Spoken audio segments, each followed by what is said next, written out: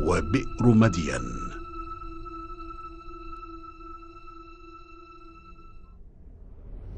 أعوذ بالله من الشيطان الرجيم.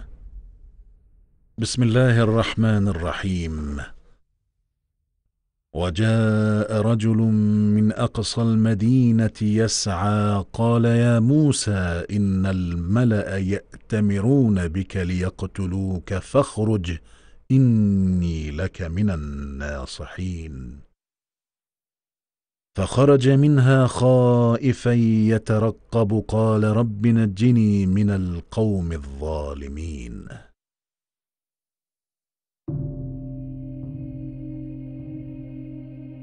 ها هو هناك وحيدا فريدا طريدا. إنه موسى بن عمران.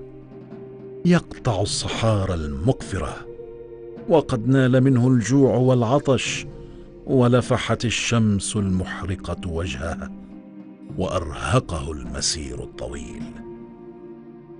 كانت الذكرى القريبة ما زالت تدور أحداثها في ذهن موسى عليه السلام. هذه الأحداث التي قلبت حياته من حال إلى حال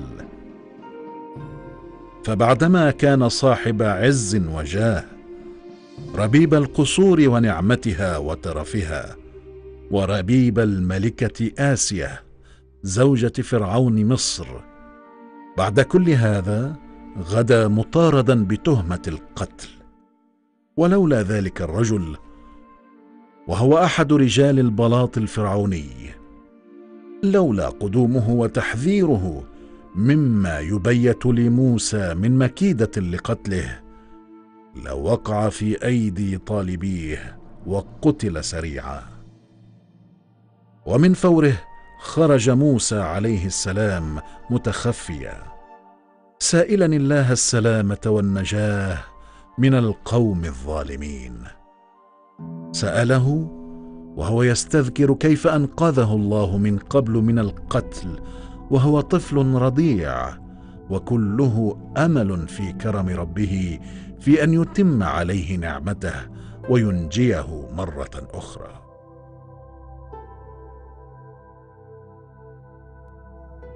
وها هو ربيب القصور ونعمتها في أسوأ حال بعد أيام من سيره الحثيث في جوف الصحراء وقد أوشك على الخروج من أرض مصر.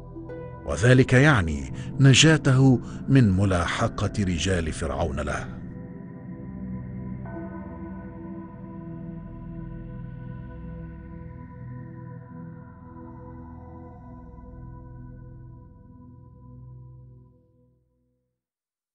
فلما توجه تلقاء مدين قال عسى ربي أن يهديني سواء السبيل. ولما ورد ماء مدين وجد عليها أمة من الناس يسقون ووجد من دونهم امرأتين تذودان.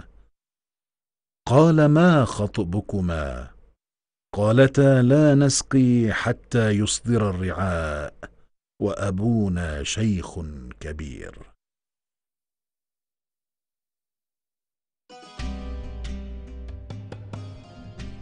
وما إن خرج موسى عليه السلام من أرض مصر حتى توجه إلى أرض مدين. فقد كانت الأقرب إليه والمكان الذي قد يجد فيه ما هو بحاجة إليه الماء والطعام وملجأ يستريح فيه بعد طول سفر وربما رفقة صدق تؤنس وحشة غربته.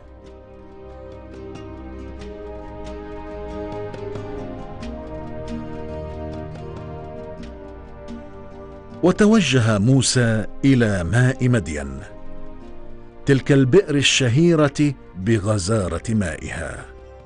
كان يريد بادئ ذي بدء أن يطفئ حرارة العطش. ولكن ما إن وصل إلى المكان حتى وجده مزدحما بمن فيه من الرعاة وكلهم يريد أن يسقي قطعانه قبل الآخر وكلهم في جدال ونزاع ولا يسقي قطيعه اولا إلا من كان الأقوى والأكثر سطوة وبطشا بينهم. طالع موسى هذا المشهد فكرهت نفسه الأبية أن يدخل في هذا النزاع ليطلب شربة ماء. فقرر أن يتنحى جانبا حتى يفرغ هؤلاء من سقائهم وجدالهم.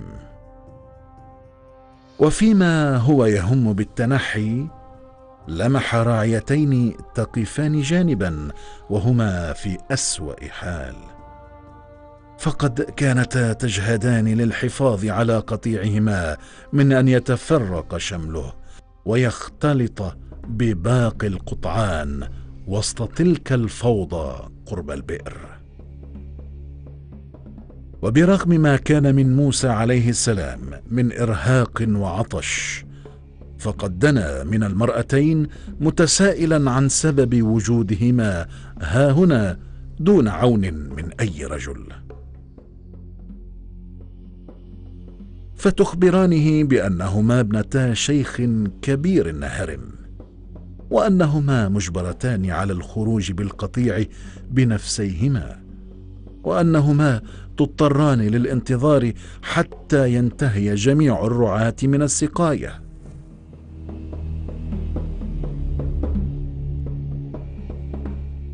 فلا طاقة لهما لمدافعتهم فهم أناس غلاظ بلا شهامة وإلا لكانوا أعانوهما على السقاية. ويرق موسى لحالهما بل إنه وهو أبي الضيم نصير الضعفاء يقرر من فوره مساعدتهما برغم ما به من تعب وعطش. فقد آلمته قسوة قلوب الرعاة وانعدام نخوتهم.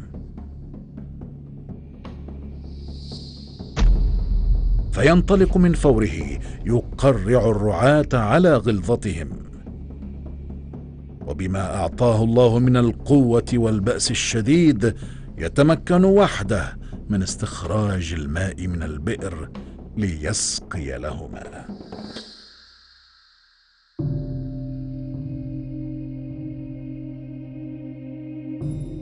وساعة تهرع شياه المرأتين لتروي عطشها يبتعد موسى عليه السلام من فوره دون أن ينتظر منهما جزاء أو شكورا.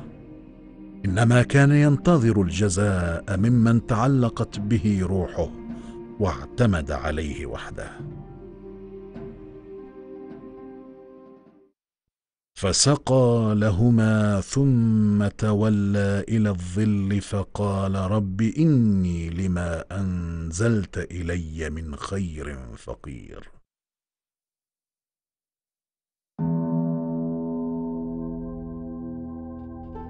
وساق الله الفضل والخير الذي كان يرجوه.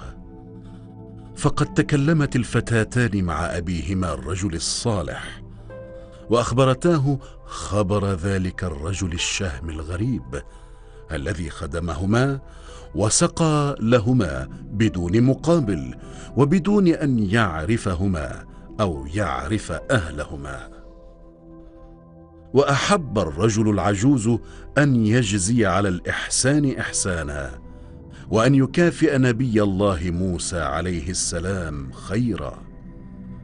فطلب من ابنته أن تذهب إليه لتدعوه وطلب منها هي لأنه لا يقدر على الذهاب لكبر سنه ولأنه لا يوجد رجل آخر في البيت ليقوم بالمهمة فاضطر لتكليف ابنته بذلك. وابنته فتاة مؤمنة صالحة وهي صاحبة خلق وأدب.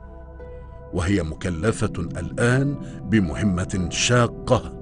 لا تتفق مع طبيعتها وفطرتها وحيائها ولكنها الضرورة. وقد صور القرآن حالتها عندما أتت نبي الله موسى عليه السلام بقوله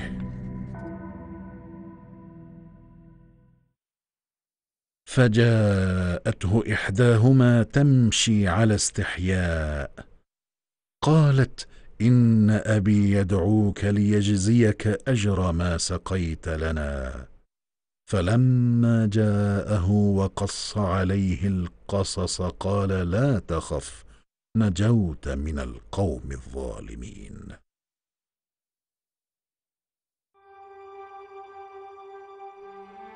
وتعود إحدى الفتاتين إليه والحياء يجلل مشيتها. وتدنو من موسى عليه السلام وتخبره بأن والدها يريد أن يجزيه على ما سقى لهما. وهو جزاء إكرام وليس أجرة لما فعله. لذلك فهو يدعوه ليكون ضيفه. ولأن دعوة الكريم لا ترد فقد قبل موسى الدعوة ونهض غاضا بصره عن الفتاة الشابة. فتجد الفتاة في سلوكه رجلا شديد الحياء امينا على حرمات الناس وأعراضهم.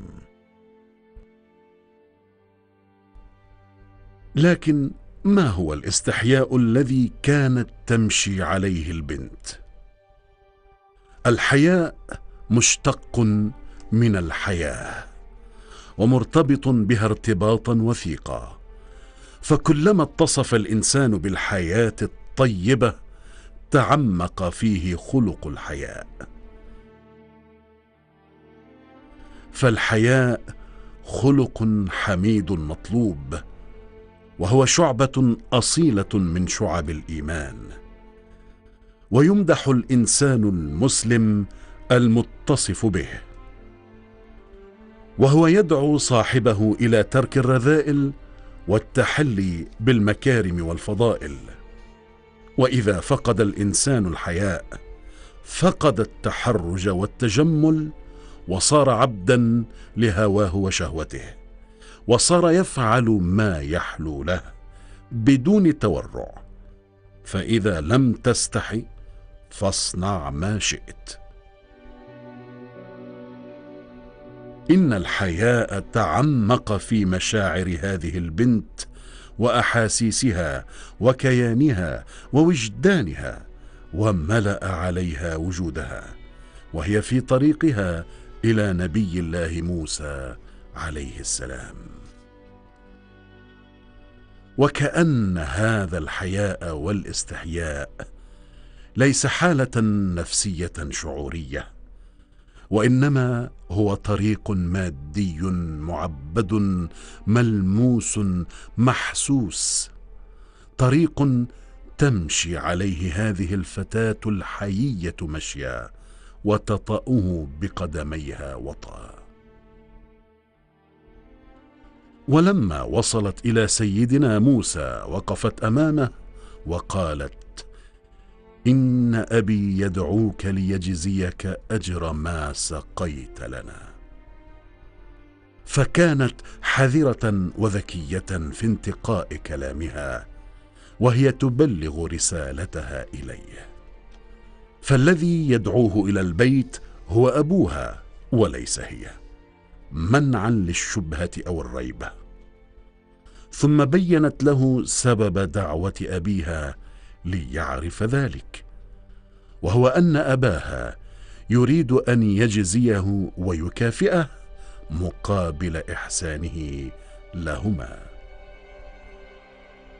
وعندما وصل البيت استقبل الشيخ الكبير الكريم سيدنا موسى الشهم القوي الأمين فأنس إليه وشعر بالأمان والإطمئنان وعرفه على نفسه وعلى قصته فطمأنه الرجل وهنأه بالنجاة.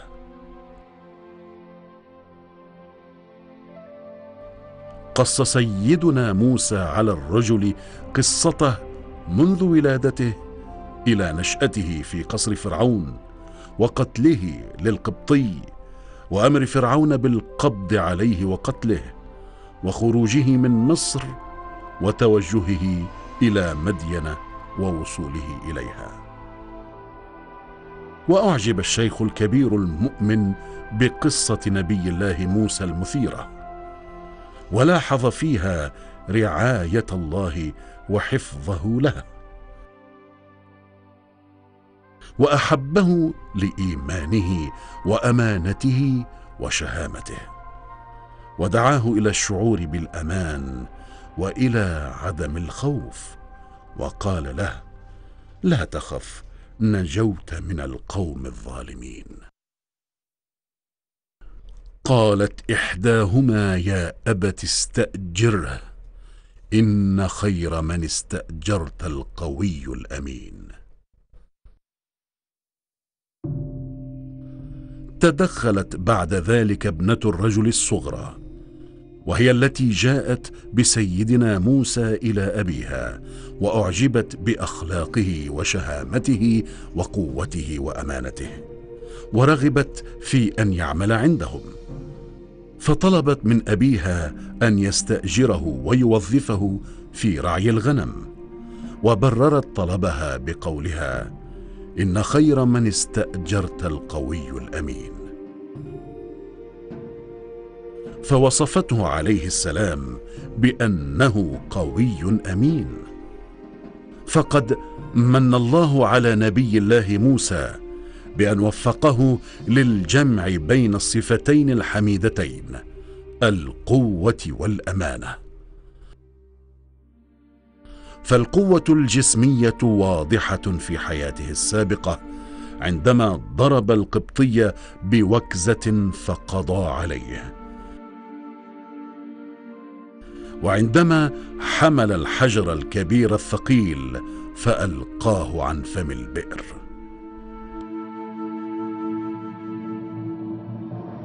ورعي الغنم يحتاج إلى القوة الجسمية. لما يترتب على ذلك من متابعة الغنم في الجبال والوديان. والأمانة قوة معنوية وهي قوة النفس والروح قوة الإرادة والعزيمة قوة التحلي بالأخلاق الفاضلة التي تمثلت في موقفه من الفتاة حيث غض الطرف عنها. وطلب منها أن تمشي خلفه حتى لا ينظر إليها. إنه أمين على العرض والشرف وأمين على المال والغنم وأمين على ما يوكل إليه ويطلب منه. والمهمة الملقاة على عاتقه تحتاج إلى أمانة. فإن لم يكن الرجل امينا فلن يحافظ على الغنم ولا على الفتاتين ولا على بيت الرجل.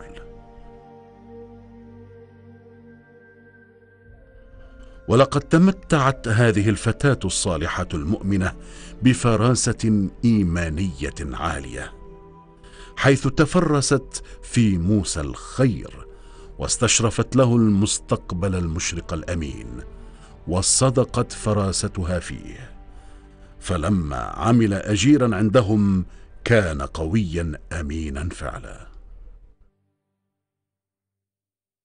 قال إني أريد أن أنكحك إحدى ابنتي هاتين على أن تأجرني ثماني حجج. فإن أتممت عشرا فمن عندك وما أريد أن أشق عليك. ستجدني إن شاء الله من الصالحين. قال ذلك بيني وبينك. أيما الأجلين قضيت فلا عدوان علي. والله على ما نقول وكيل.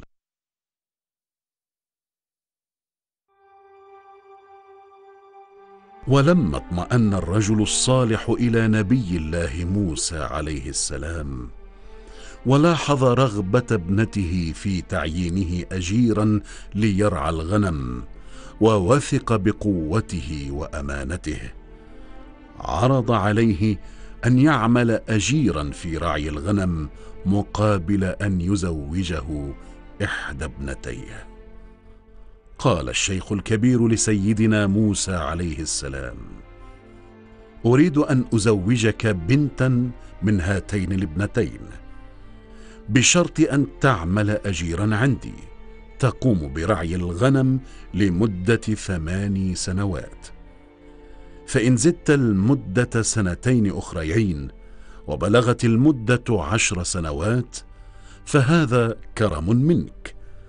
وأنا لا أريد أن أشق عليك وأتعبك في هذا العمل فسوف ترى فيه اليسر والراحة. وستجدني إن شاء الله من الصالحين. ورد نبي الله موسى على عرض الشيخ الكبير بالموافقة على الأمرين. الموافقة على زواجه من إحدى ابنتيه والموافقة على أن يعمل عنده. قال له ذلك بيني وبينك وأنا موافق على ما قلت. وتم الاتفاق بيني وبينك. أما المدة فأنا ملزم بالثمان سنوات وإن أردت أن أكملها عشرا فهذا زيادة مني. لكن لا عدوان علي إن عملت ثماني سنوات والله وكيل على ما نقول.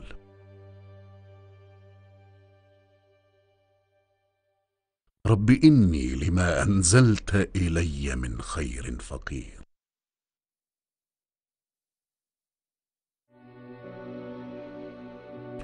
فإذ بموسى عليه السلام من بعد تشرده وجوعه وفقره وغربته يجد الملاذ والمسكن ويصاهر رجلا صالحا من أولياء الله. ويكون له مرافقا وبمثابة الولد فيجد الأنس بعد غربته ووحشته. فسبحان الله وسع الجميع برحمته وعطائه. وهكذا أتم الله لنبيه موسى ما قدره له في المرحلة الأولى من عمره التي قضاها في ظلال رعاية الله وحفظه وتأييده وحمايته. قد فعل الله الحكيم ذلك بموسى لأنه يعده لمهمة كبيرة حيث سيجعله نبيا رسولا ويبعثه إلى فرعون وينقذ به بني إسرائيل. وهذه المهمة لا بد أن تسبقها فترة تهيئة وإعداد فكانت السنوات العشر في مدين.